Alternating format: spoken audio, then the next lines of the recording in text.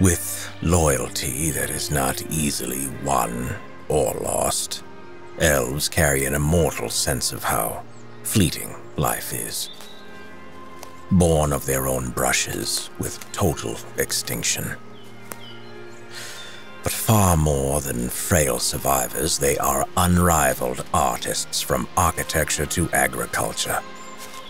With arcane and physical prowess, as natural as the wind, rain, and storm. Sibling hearts divide the race into two distinct groups. Ashen elves steward Faerthale from within, eternally vigilant in watch and guard while their Ember brethren cast an aggressive eye towards the surrounding lands, rooting out evil where it resides.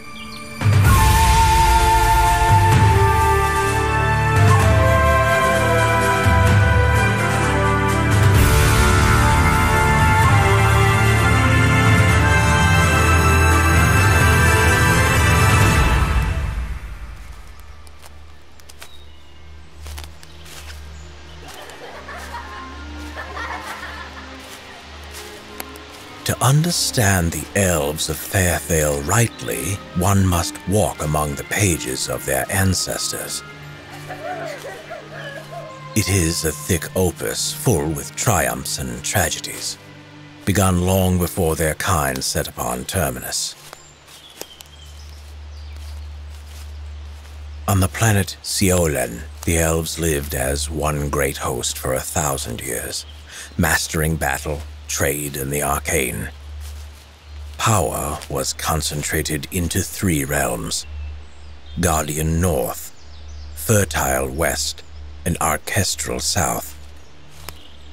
Yet an age of unmitigated pestilence fractured their unity, and in a climax of unrest, the militant cities of the North laid waste to the richer lands in the West.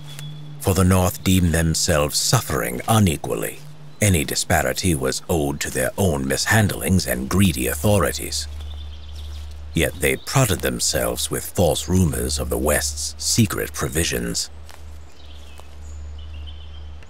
Unifying with the demonic beasts of Tor they had so long protected our three realms against, the northern elves marched upon their brothers without mercy. Thus they are now the Tor Mentiri, a severed host, cut off from elvenhood for all time.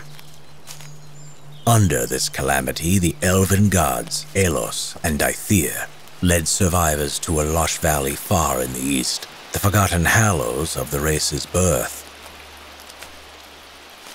The sight which greeted the refugees melted their sorrow like a radiant dawn. A tree of such enormous size it was first mistaken for a mountain laden with clouds. Up from the heart of the teeming valley, the regal tree soared, arrayed in animal and vegetative life, prismatic rainbows and falling streams. The base was half a day's journey around, even upon the swiftest horse. So powerful was the trunk in its ascent that slabs of great rocks from far below the valley soil had been pulled up into side ridges. The four highest branches stretched out like bridges in the sky, though they did not altogether span the chasm of the valley. From each of the four chief limbs fell the fruit of a season leaves made of snow, blossoms of drifting rain, blooms of tangible heat, drifts of reds and golds that swirled like sands on the valley floor. There was a storm cloud caught between two branches, flashing glints within its folds. Through the knuckles of the cavernous roots below flowed the emerald river Nylene, anchoring the four resplendent regions in fertility. This was Lumos, the second dawn. Yet in short decades, the ravenous Tor Mentiri tracked their divorced brothers to this bountiful new home. Hollowed by hatred and joining indistinguishable ranks with the beasts of Tor, they razed the valley with infernal flame. By the end of their siege, even Lumos was scorched and dying. The elves took flight into the lands of pestilence as desperate nomads. In this mourning hour, they took as their namesake the Ashen, painting their faces from elder to infant with cinders of Lumos itself. Yet Dythir pulled the hot seed of Lumos from the desecrated tree and gave it to the Ashen Elves, while Aelos bestowed a twofold prophecy. Declaring that the seed would be planted anew in foreign lands. Thus, the Elven era on Terminus began with promise. Once a home was secured in the clefts of the Rhone Mountains, the hot seed was planted with solemn ceremony. This tree they named Lucent, the Third Light. In these first months upon the land, a new government was formed.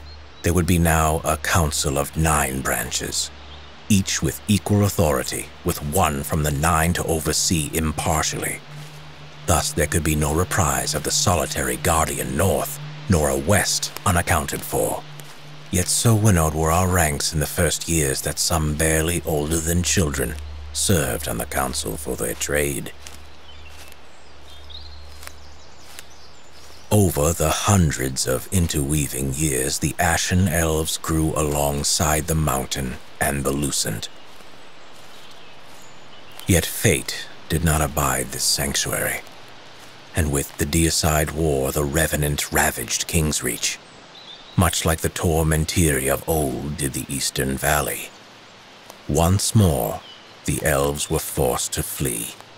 Once more, their holy tree was burned alive.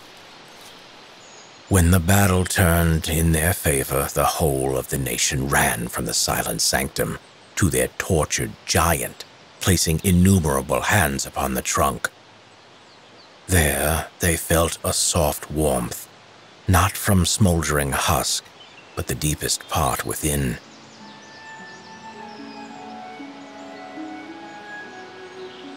From the posture of lament, we erupted, snatched from grief over to joy. It was felt the glow of the heart seed, drawing up through the fissures of axe heads, below the skin curled by the departed revenant flames the tree was wounded, but alive, and thus was Faerthale herself.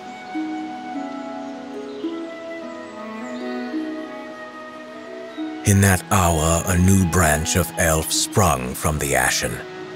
These are the Ember, a vibrant class who seek to return their people to the ancient days of promise on S'iolaen before the Age of Pestilence.